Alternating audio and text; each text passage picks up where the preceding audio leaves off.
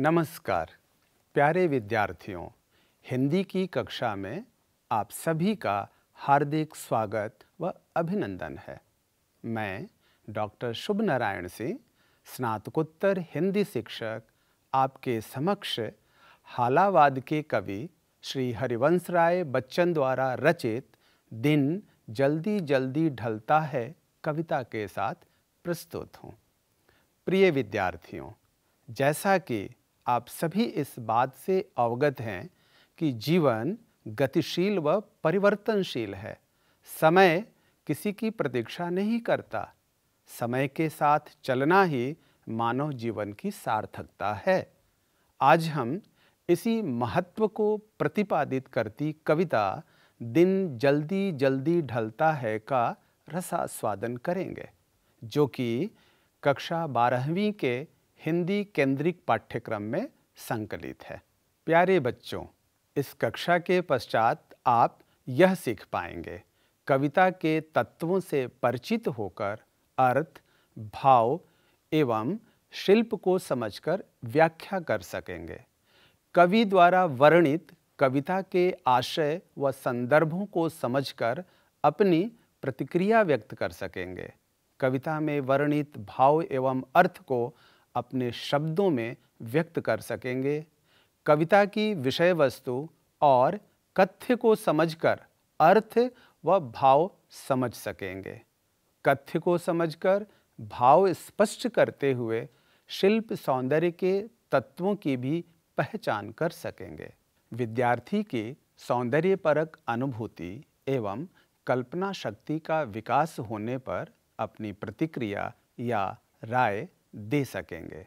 साथ ही केंद्रीय माध्यमिक शिक्षा बोर्ड की परीक्षा के अंतर्गत प्रश्नों के स्वरूप को भी समझ सकेंगे। आइए सर्वप्रथम दिन जल्दी जल्दी ढलता है कविता के कवि श्री हरिवंश राय बच्चन जी के जीवन परिचय को जान लेते हैं। श्री हरिवंश राय बच्चन हालावादी काव्य के अग्रणी कवि थे। मिट्टी का तन मस्ती का मन क्षण भर जीवन मेरा परिचय। कहने वाले श्री हरिवंश राय बच्चन का जन्म 27 नवंबर 1907 को इलाहाबाद के नज़दीक प्रतापगढ़ ज़िले के एक छोटे से गाँव पट्टी में हुआ। घर में प्यार से उन्हें बच्चन कहकर पुकारा जाता था। आगे चलकर यही बच्चन उपनाम विश्व भर में प्रसिद्ध हुआ। बच्चन जी की आरंभिक शिक्षा दीक्षा गाँव की पाठशाला में हुई। उच्च शिक्षा के लिए वे इलाहाबाद और फिर कैम्ब्रिज गए, जहाँ उन्होंने अंग्रेज़ी साहित्य पर शोध किया। श्री हरिवंश राय बच्चन ने 1941 ईस्वी से उन्नीस सौ बावन ईस्वी तक इलाहाबाद विश्वविद्यालय में अंग्रेज़ी साहित्य का अध्यापन किया। वर्ष 1955 में कैम्ब्रिज से वापस आने के बाद वे भारत सरकार के विदेश मंत्रालय में हिंदी विशेषज्ञ के रूप में नियुक्त हुए। उमर खयाम की रुबाइयों से प्रेरित 1935 में छपी उनकी मधुशाला ने बच्चन जी को खूब प्रसिद्धि दिलाई। आज भी मधुशाला पाठकों के बीच काफ़ी लोकप्रिय है। अंग्रेज़ी सहित कई भारतीय भाषाओं में इस काव्य का अनुवाद हुआ। इसके अतिरिक्त मधुबाला, मधुकलश निशा निमंत्रण मिलन यामिनी दो चट्टाने जैसी काव्य की रचना बच्चन जी ने की है। वे 1966 में राज्यसभा के सदस्य मनोनीत हुए। दो चट्टाने के लिए 1968 में बच्चन जी को साहित्य अकादमी पुरस्कार मिला। साहित्य में योगदान के लिए प्रतिष्ठित सरस्वती सम्मान, उत्तर प्रदेश का यश भारती सम्मान, सोवियत लैंड नेहरू पुरस्कार आदि से भी नवाजे गए। बच्चन जी को 1976 में पद्म भूषण से भी सम्मानित किया गया। चार खंडों में प्रकाशित बच्चन की आत्मकथा, क्या भूलूं, क्या याद करूँ, निढ़ का निर्माण फिर, बसेरे से दूर और दश द्वार से सोपान तक हिंदी साहित्य जगत की अमूल्य निधि मानी जाती है। बच्चन जी ने उमर खयाम की रुबाइयाँ, सुमित्रानंदन पंत की कविताओं और नेहरू जी के राजनीतिक जीवन पर भी किताबें लिखीं। श्री हरिवंश राय बच्चन जी का देहांत 18 जनवरी 2003 को मुंबई में हुआ। आज हम इन्हीं के द्वारा लिखी गई कविता दिन जल्दी जल्दी ढलता है का रसा स्वादन करेंगे। दिन जल्दी जल्दी ढलता है कविता गीत विधा में लिखी गई है। प्रत्येक गीत के दो भाग होते हैं, पहला स्थायी और दूसरा अंतरा। पहली पंक्ति, जिसे बाद में बार बार दोहराया जाता है, स्थायी कहलाती है। प्रस्तुत कविता में दिन जल्दी जल्दी ढलता है, स्थायी है। कविता की शेष पंक्तियाँ अंतरा कहलाती हैं। गीत में स्थायी और अंतरों की सभी पंक्तियाँ गायन के अनुसार लय तथा छंद में बंधी होती हैं। तुक का निर्वाह भी गीत की पंक्ति में होता है। बच्चों, आइए कविता का आदर्श पाठ करते हुए पाठ्य वस्तु को समग्रता के साथ समझते हैं। दिन जल्दी जल्दी ढलता है, दिन जल्दी जल्दी ढलता है, हो जाए न पथ में रात कहीं, मंजिल भी तो है दूर नहीं, यह सोच, थका दिन का पंथी भी जल्दी जल्दी चलता है, दिन जल्दी जल्दी ढलता है, बच्चे प्रत्याशा में होंगे, नीड़ों से झाँक रहे होंगे, यह ध्यान परों में चिड़ियों के भरता कितनी चंचलता है। दिन जल्दी जल्दी ढलता है। मुझसे मिलने को कौन विकल? मैं हूँ किसके हित चंचल? यह प्रश्न शिथिल करता पद को भरता उर में विहवलता है। दिन जल्दी जल्दी ढलता है। आइए अब इस कविता के शब्दार्थों पर विचार करें। प्रत्याशा अर्थात प्राप्त करने की आशा, नीड़ अर्थात घोसला, चंचलता यानी तीव्रता, तेज़ी, विकल अर्थात व्याकुल, दुखी। हित मतलब के वास्ते भलाई। शिथिल यानी ढीला, मंद। और अर्थात हृदय, विह्वलता यानी भाव आतुरता, व्याकुलता। प्रिय विद्यार्थियों, प्रस्तुत कविता का मूल भाव कुछ इस प्रकार है। दिन जल्दी जल्दी ढलता है। कविता, कवि के काव्य संग्रह, निशा निमंत्रण से लिया गया है। यह एक प्रेम गीत है। किसी प्रिय आलंबन या विषय के भावी साक्षात्कार का आश्वासन ही हमारे प्रयास के पगों की गति में चंचलता व तेज़ी भर देता है। इसमें प्रेम की व्याकुलता का वर्णन हुआ है। अपने प्रियजनों से मिलने की चाह में ही पथिक के पाँव तेज तेज चलने लगते हैं। पथिक रात होने से पहले अपने लक्ष्य तक पहुँच जाना चाहता है। चिड़िया का ध्यान घोंसले में इंतज़ार कर रहे अपने बच्चों की तरफ़ है। इसलिए उसके पंखों में चंचलता व गति आ जाती है। परंतु कवि के जीवन में ऐसा कोई नहीं है जो उसकी प्रतीक्षा करे। इसलिए उसके कदम शिथिल हो जाते हैं। यह कविता समय के साथ कुछ कर गुजरने का जज्बा भी लिए हुए है। जीवन में गति का संचार तो लक्ष्य प्राप्ति की आशा के कारण ही हुआ करता है। आइए कविता के पहले काव्यांश को समझते हैं। दिन जल्दी जल्दी ढलता है, हो जाए न पथ में, रात कहीं मंजिल भी तो है दूर नहीं। यह सोच थका दिन का पंथी भी, जल्दी जल्दी चलता है, दिन जल्दी जल्दी ढलता है। इस काव्यांश में कवि ने प्रत्यक्ष रूप से तो यात्रा करने वाले पथिक, अर्थात राहगीर का चित्रण किया है, परंतु यह प्रतीकात्मक रूप से जीवन रूपी पथ यात्रा का चित्रण करता है। जीवन रूपी दिन बड़ी तेज़ी से ढलता है। मनुष्य के मन में चिंता है कि कहीं रास्ते में ही रात न हो जाए, अर्थात जीवन का अंत लक्ष्य प्राप्ति से पूर्व ही न हो जाए, जबकि अभी मंजिल तक पहुँचना बाकी है। इस कारण से वह लक्ष्य प्राप्ति की आशा में अपनी गति को बढ़ा देता है, ताकि अंधकार होने से पहले ही अपने लक्ष्य पर पहुँच जाए। कहने का तात्पर्य यह है कि समय सीमित है। लक्ष्य प्राप्ति के लिए हमें निरंतर प्रयास करते रहना चाहिए। इस काव्यांश की भाषा एवं काव्यगत विशेषताएँ ये हैं। भाषा सरल, सहज और भावानुकूल है, जिसमें खड़ी बोली हिंदी का प्रयोग है। दृश्य बिंब है, जल्दी जल्दी में पुनुक्ति प्रकाश अलंकार है, कविता मुक्त छंद में रचित है, आशावादी स्वर है और गीत शैली है। आशा करते हैं कि आपको प्रथम काव्यांश का मूल भाव अच्छी तरह समझ आ गया होगा। आइए, अब कविता के दूसरे काव्यांश का आनंद लें और काव्यांश के अर्थ को आत्मसात करें।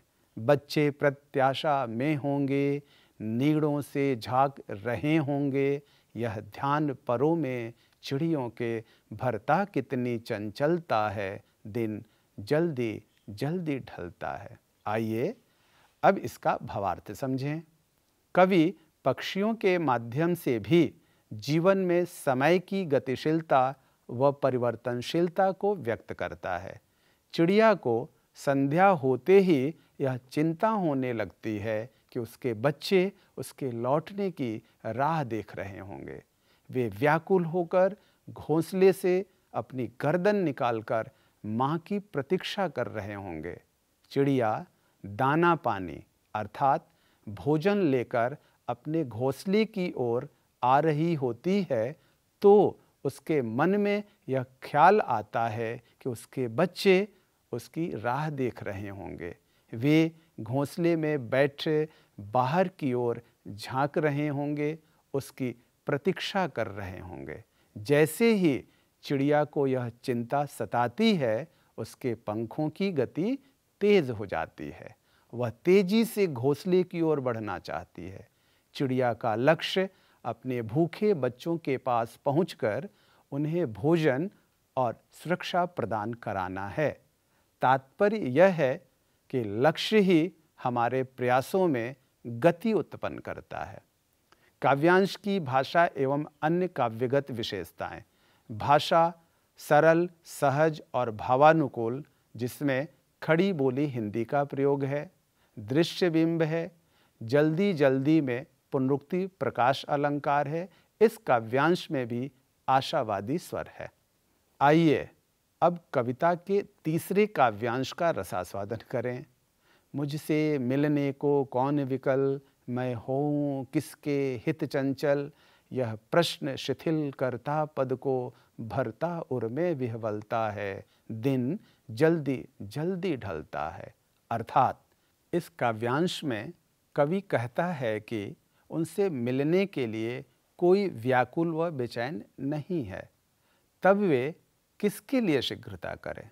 बस यही प्रश्न उनके मन को उदास और तन की गति को शिथिल व कमज़ोर बना देता है। अर्थात, कवि ने अपने एकाकी जीवन की कुंठा तथा प्रेम की व्याकुलता को व्यक्त किया है। कवि कहता है कि वह संसार में अकेला है। उससे मिलने के लिए कोई व्याकुल नहीं है। उसकी उत्सुकता से प्रतीक्षा करने वाला भी कोई नहीं है। इसलिए उसके पैरों में गति नहीं है। यह प्रश्न कवि के पैरों को शिथिल कर देता है। उसके हृदय में व्याकुलता भर जाती है।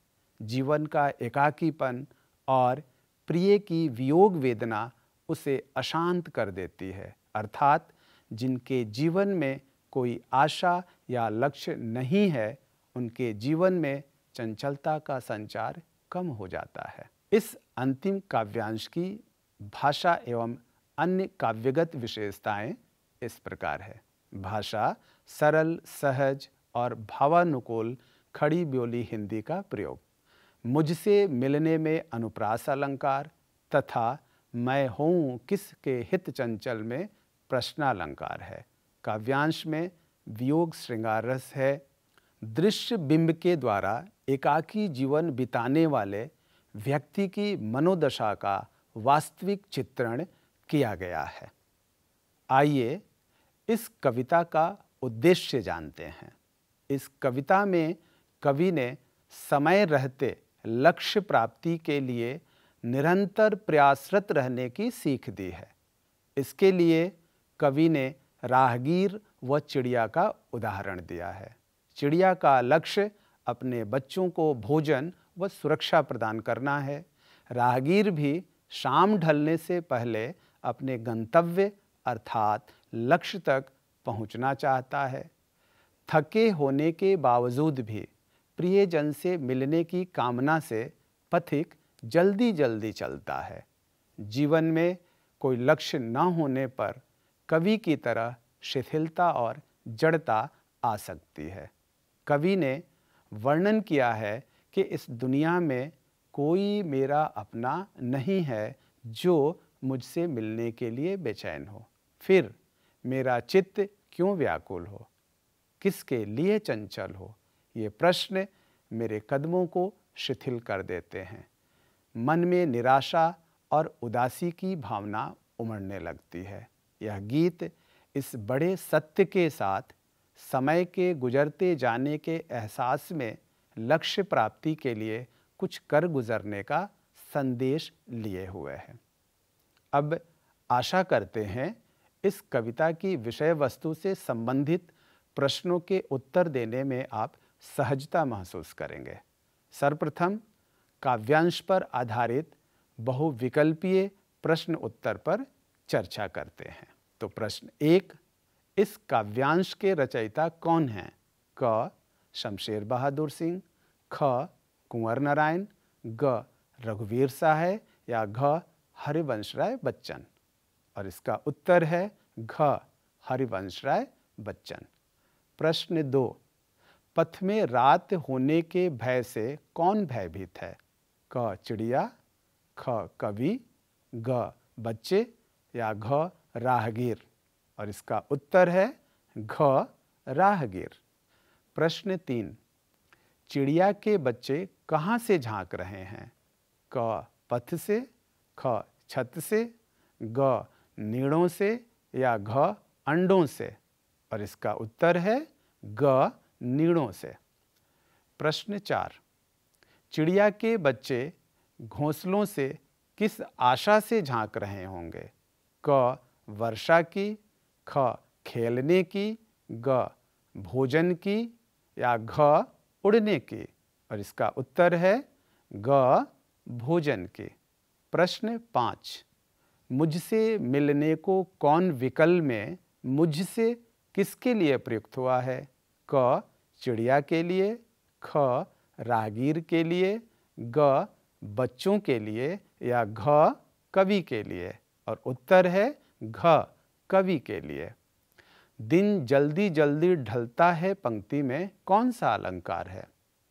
क यमक, ख रूपक, ग उपमा या घ पुनरुक्ति प्रकाश। और इसका उत्तर है घ पुनरुक्ति प्रकाश। आइए कुछ लघुतरात्मक प्रश्न उत्तर पर भी चर्चा कर लेते हैं। प्रश्न एक, हो जाए न पथ में रात कहीं, यहाँ किस पथ की ओर कवि ने संकेत किया है? उत्तर, हो जाए न पथ में रात कहीं के माध्यम से, कवि ने अपने जीवन पथ की ओर संकेत किया है, जिस पर वह अकेले चलकर अपना जीवन जी रहा है। प्रश्न दो, पथिक के मन में क्या आशंका है? पथिक के मन में यह आशंका है कि घर पहुँचने से पहले कहीं रात न हो जाए। इसलिए वह जल्दी जल्दी चलकर अपनी मंजिल तक, अर्थात कभी अपने जीवन पथ पर समय रहते लक्ष्य प्राप्ति तक पहुँच जाना चाहता है। प्रश्न तीन, पथिक के तेज चलने का कारण क्या है? उत्तर, पथिक के कदमों में गति व तेज़ी इसलिए है क्योंकि रात होने से पहले वह अपने लक्ष्य तक पहुँचना चाहता है। वह समय रहते अपने लक्ष्य को पाना चाहता है। प्रश्न चार, दिन जल्दी जल्दी ढलता है के माध्यम से कवि क्या कहना चाहता है? उत्तर, दिन जल्दी जल्दी ढलता है के माध्यम से कवि समय की गतिशीलता व परिवर्तनशीलता को व्यक्त करना चाहता है। समय किसी की प्रतीक्षा नहीं करता। समय रहते लक्ष्य प्राप्ति की ओर अग्रसर होना चाहिए। प्रश्न पाँच, चिड़िया के बच्चे किसका इंतज़ार कर रहे होंगे तथा क्यों? उत्तर है, चिड़िया के बच्चे अपने माता पिता के आने का इंतज़ार कर रहे होंगे, क्योंकि चिड़िया माता पिता के पहुँचने पर ही घोंसलों में इंतज़ार कर रहे बच्चों को भोजन मिल सकेगा। प्रश्न छ चिड़िया के पैरों में चंचलता आने का क्या कारण है?